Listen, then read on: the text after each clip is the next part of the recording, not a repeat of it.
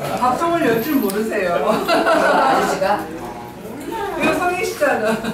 지금 저 프로 사장님은 여름 여름에 거기 보니까 이 말고 배불러. 중복은 중- 중복은 말될 거야.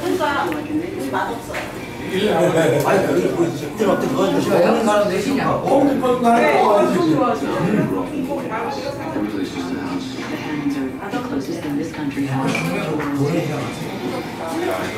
좋은데 안 가져와 사람들이. 이제 유시도 그 리펀드 안 해주죠. 페인트 익스체인지도 안 해주고. 페인트 부스에서 저 네.